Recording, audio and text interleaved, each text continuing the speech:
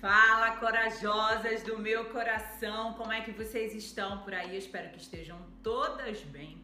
E hoje eu fiquei pensando qual temática trazer pra gente conversar hoje, né? Quem olhou meu vídeo passado viu a questão do julgamento. E hoje eu vou falar com relação à questão do estresse. Mas antes de falar do estresse, para você que não me conhece, meu nome é Silvia Vasconcelos, eu sou psicóloga clínica e eu brinco que é a famosa chocolate com pimenta, porque já chega chegando, fala de carrão de cena. E se gostou, gostou, e se não gostou, também está tudo bem. Mas eu chego falando verdades e às vezes as verdades doem. E aí eu quero falar hoje sobre com relação ao estresse. Você já parou para pensar que a maioria dos estresses que acontecem são escolhas? Silvia, como assim escolhas? Você escolhe. Todo tempo a gente não escolhe? Pare e pensa aí do outro lado.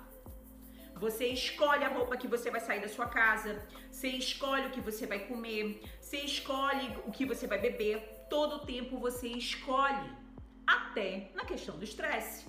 Se você escolhe se irritar, se você escolhe se estressar, se você escolhe ficar blá blá blá blá blá blá blá, falando palavras estressantes, falando palavras que são contaminantes, eu vou dizer assim nesse sentido, todo o teu campo vai reverberar nessa energia. Silvia, você está dizendo então que tudo que eu falo acontece na minha vida? Sim, senhora. Porque se não vejamos, vocês já viram pessoas que são estressadas, como elas têm até a fisionomia é, pesada, né?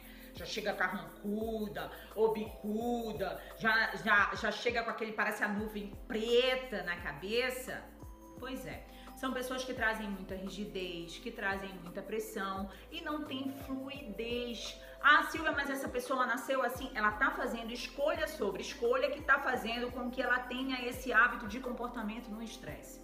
Porque você tem a opção de escolher. Silvia, é, o cara me fechou, eu dirigindo, e aí como eu não vou me estressar? Aí pensa racionalmente no que eu vou te dizer. De que vai adiantar tu mandar ele tomar no cu? De que vai adiantar tu esbravejar? De que vai adiantar, vamos supor que você tá levando seu filho pra escola, blá, blá. Energia é essa que você tá escolhendo, corajosa? Então, se na sua vida você. Ah, você tá dizendo que eu não posso ficar irritada? Não, não, não, não, não. Muito pelo contrário. Mas você tem que saber posicionar a questão também da tua irritabilidade. Porque senão a tua forma de se comunicar vai ser na raiva. A tua forma de se comunicar sempre vai ser nesse polo aí, eu vou te dizer, na irritabilidade. Se você tá nessa marcha corajosa, se você tá nessa, nessa forma aí, eu vou te dizendo de carrão de cena, dá um dois passos para trás, respira. Na hora que tu já vai explodir com o marido, com o cachorro, papagaio e periquito, chama o teu nome, corajosa. Silvia, você tá aí, volta, respira, te dá 10 segundos, como diz o professor Daniel Goleman na inteligência emocional. 10 segundos para com que não aconteça o sequestro emocional. E aí nesse sequestro emocional é que tá a famosa cagada porque você vai agir impulsivamente. E se você agir impulsivamente, vai dar BO, vai dar merda. Então, antes de você chegar, se você está identificando pela respiração, pela fala acelerada, pelo ambiente que você está envolvida, que você vai lá explodir corajosa, respira, chama o teu nome e conta 10 segundos para depois tu tomar uma atitude porque a raiva é inimiga da sabedoria e logo depois dessa raiva vem logo o que aliado? O estresse. Então, se a vida ela é feita de escolhas, escolha ser inteligente, escolha ser você.